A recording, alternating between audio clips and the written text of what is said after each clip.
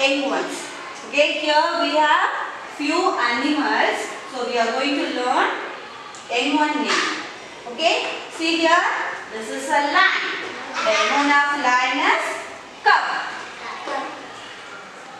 Kangaroo.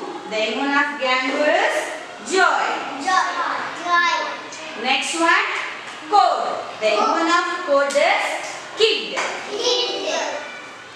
Next one, dog. The young one of dog is Next one, horse. The young one of horse is foal. Next one, duck. The young one of duck is duckling. Next one, sheep. The young one of sheep is lamb. Okay? So here, so these are the animals. It has some one name. Are you clear about this?